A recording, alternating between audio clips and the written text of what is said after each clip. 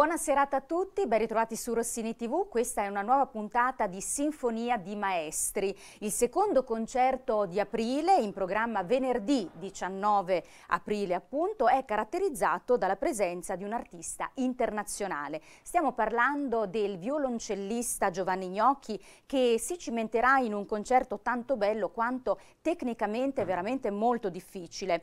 Eh, si contano infatti eh, sulle dita di una mano i solisti che nel mondo mondo riescono a eseguire la sinfonia concertante per violoncello e orchestra di Sergei Prokofiev. Un evento quindi unico da non perdere, non perdetevi questo concerto bellissimo dell'Orchestra Sinfonica Rossini. Oggi ci dedichiamo in modo particolare a due sezioni che possono ampliare notevolmente il volume eh, dei suoni orchestrali e quindi parliamo della sezione percussioni e di quella degli ottoni con due rappresentanti chiaramente dell'orchestra orchestra, che sono Matteo Fratesi, timpanista, e Carlo Piermartire, primo trombone. Benvenuti. Benvenuti a tutti, buonasera. E allora partiamo con te Matteo, in un'orchestra lo spettatore vede suonare dei grossi tamburi che si chiamano caldaie, in realtà, giusto? Sì, più ecco, ecco. ma eh, abbiamo intuito diciamo, che voi percussionisti suonate di tutto, il vostro percorso di studi è davvero importante, ce ne vuoi parlare? Sì, certamente. Eh, nel nostro percorso di studi prevedono tanti strumenti, eh, è un po' una giungla, un laboratorio sempre in evoluzione. Eh, I timpani in questo caso sono una parte, una piccola parte di tutta la strumentazione che noi affrontiamo durante gli anni di studio in conservatorio ehm, e, sono degli strumenti a membrana dove hanno una caldaia e quindi vengono chiamate anche caldaie, a differenza dei tamburi classici tradizionali che hanno un fusto diritto, la caldaia è chiusa sotto e quindi permette proprio a, alle vibrazioni della pelle di raggiungere ad un'intonazione. Infatti i timpani sono degli strumenti a membrana a suono determinato, mentre tutti gli altri tamburi a fusto diritto suono a suono indeterminato, proprio perché per una questione fisica sono, le vibrazioni non ripercorrono il fusto risalendo nella membrana, ecco, quindi non riescono ad avere dei, suoni, dei suoni determinati. Poi dopo abbiamo anche tutta un'altra serie di strumenti che si chiamano idiofoni e sono strumenti in legno e in metallo e attraverso la vibrazione del corpo dello strumento stesso possono eh, produrre suoni sia determinati che indeterminati. Ad esempio, un piccolo esempio per far capire, il vibrafono, che è uno strumento a tastiera, produce dei suoni determinati, mm. mentre ad esempio dei piatti, dei semplici piatti anche a due che si vedono in orchestra, o dei piatti da batteria, crash, producono un suono indeterminato proprio per il tipo di costruzione del metallo. Sempre, vibrano sempre loro, il corpo vibra, però alcuni non riescono ad avere un suono determinato. Quindi insomma li sai suonare tutti questi? Diciamo ci provo, ci ho provato, ci provo, alcuni mi riescono, alcuni meno. allora, nell'orchestra tu ti trovi un po' nelle retrovie, quasi un po' a chiudere idealmente il cerchio con il direttore. Eh, qual è la capacità di ascoltare i tuoi colleghi davanti e quali differenze interpretativi trovi in un'orchestra che si esibisce ad esempio da Rossini a Prokofiev fino ai Queen? Quindi insomma eh, cambia parecchio. Esatto, sì. Allora, questo cerchio che si chiude a volte è vero, a volte meno, ossia dipende dal tipo di repertorio che andiamo ad affrontare. Una cosa vera che ho notato negli anni è che suonando molto indietro rispetto al direttore, specialmente quando c'è orchestra grande, tutti gli, i fiati davanti sono come timpani ultimo dietro, di sicuro bisogna pensare un po' diversamente alla questione dell'anticipo del suono. Mm quindi eh, io solitamente ormai negli anni mi baso molto su quello che vedo, il direttore o la spalla degli archi, ma anche su quello che sento.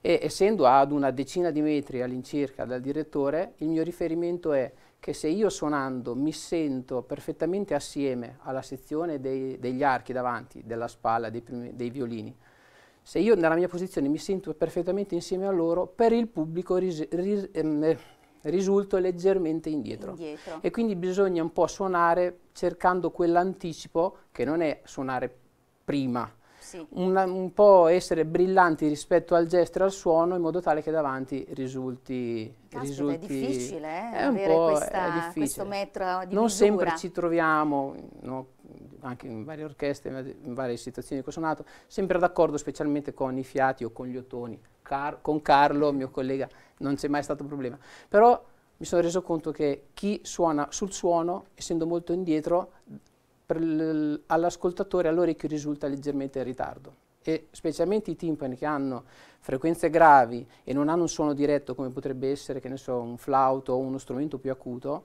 anche la vibrazione stessa la preparazione della nota, del colpo, a volte già quello può portare ad un ritardo e quindi se ci mettiamo sopra il fatto di essere troppo sul gesto, così lontano, poi porta uno scompenso. Allora, questa sera ci hai portato il tamburo, quindi ascoltiamo una piccola esibizione di Matteo Fratesi.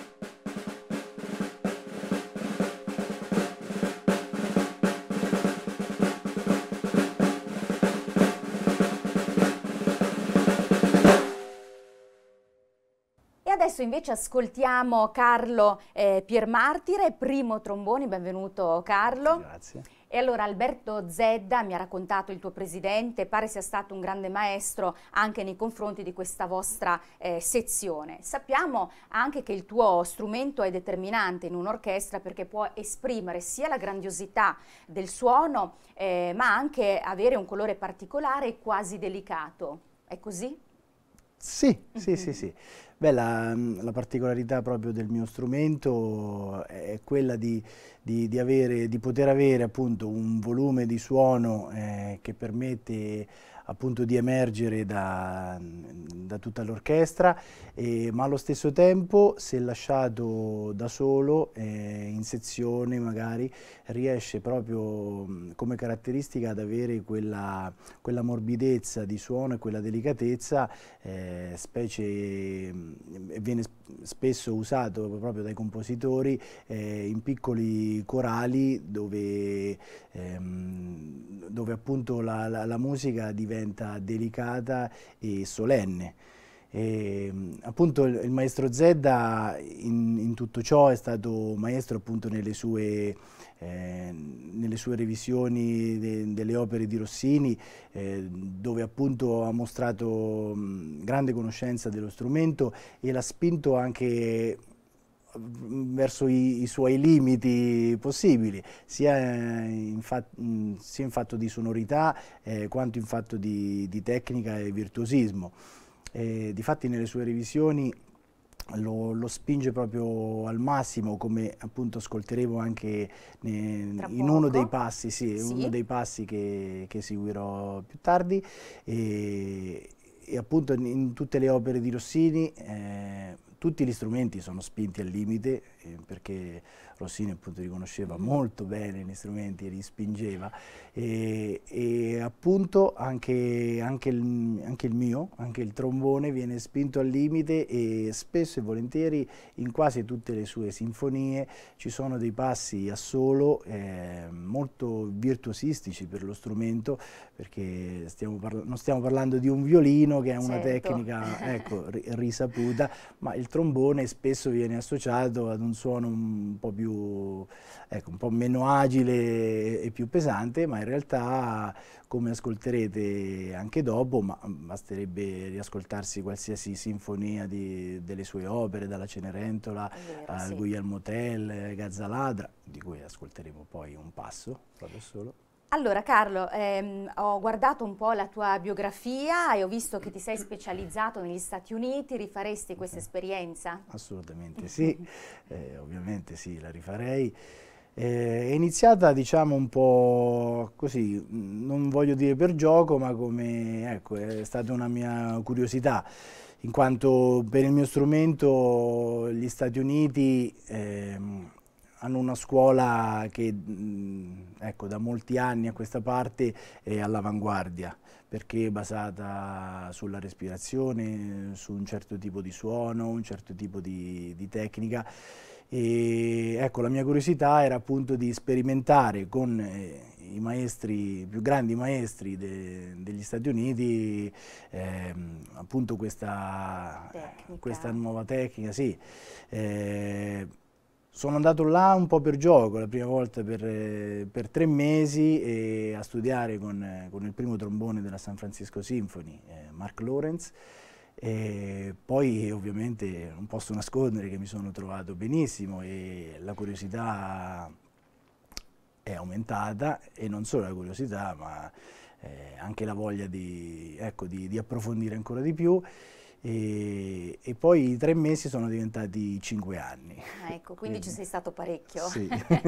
Hai studiato tantissimo. Studiato tantissimo. Grazie mille Carlo, davvero complimenti. Allora io ricordo a tutto il nostro pubblico di non perdere il concerto di venerdì 19 aprile alle ore 21 al Teatro Rossini con Giovanni Gnocchi e Prokofiev e vi ricordo anche che i biglietti sono in vendita presso il botteghino del Teatro Rossini che è aperto dal mercoledì al sabato dalle 19 17 alle 19.30 e nei giorni di spettacolo dalle ore 10 alle 13 e poi dalle 17 fino all'inizio del concerto. Quindi avete eh, tanti orari in cui poter acquistare i biglietti. Li potete acquistare anche online su Viva Ticket e i prezzi vanno dai 5 ai 15 euro. Adesso ascoltiamo allora Carlo Piermartire che si esibisce con il trombone. Grazie mille per essere stati qui con noi. Grazie a voi. Grazie a voi. Buona serata.